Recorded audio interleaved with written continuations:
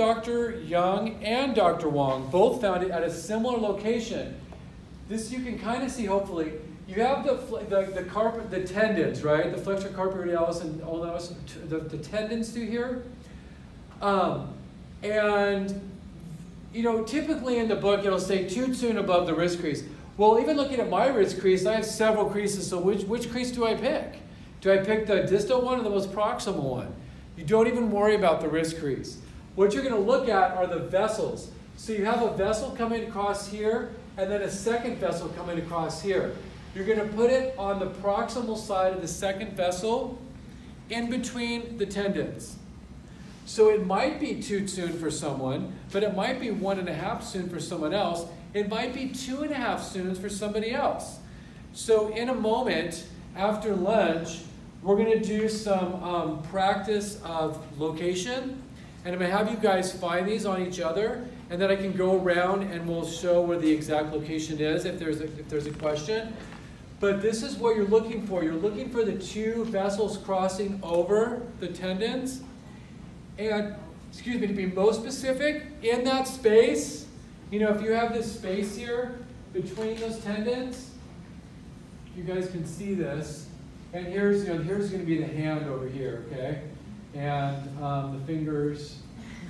Um, you can tell I'm like a super good artist. Um, and you have these, so you have the vessel, you have the, um, you know, you have your, uh, your wrist, and this is the two tendons, okay, flowing. And then you have your vessels coming across, and here's the thumb. You're actually going to put the needle just a little bit more in the radial aspect of that space.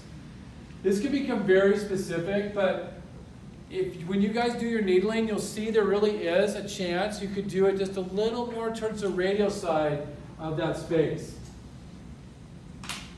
And that's the location. Now when I do my needling, you want to do very gentle approach here because typically this is the first treatment you're doing on someone. And we'll talk about in a second how I do my needling. Sometimes I will just skip this point if somebody's so sensitive, or I'll save it to the very end. Mm. But if I do end up doing this point, I use thin needles. I use um, 30 gauge, 34 gauge, which isn't exactly thin, but it's not thick. And I use a one cun needle. And I'll show you how I do my insertion, but I put it in, and then I get a chi response where if we can, ideally, we get the response to tingle up and down. But typically it might just go down, and that's enough. Oh, wait, Cindy said it needs to go up. I better keep going until it goes up. Do not do that. If they feel it go down, that's enough. But sometimes we can have it warm up the channel too. Um, but that's the sensation we're going for, and I just do a little bit, and that is it. They'll usually feel the tingling for a moment, then they'll feel like a heaviness and a pressure. That's plenty. And then I just let it be.